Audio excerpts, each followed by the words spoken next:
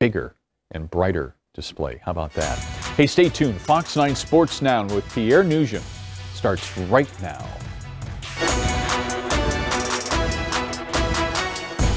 And good evening, everybody. Thanks for tuning in to Sports Now. I'm Pierre Noujaim. After a thrilling upset in New Orleans, the Minnesota Vikings had every reason to feel confident heading into the divisional round. The Vikings would head to the Bay Area to take on the number one seed in the NFC, and while the Vikings liked their chances, the Niners looked every bit like Super Bowl contenders today. Kirk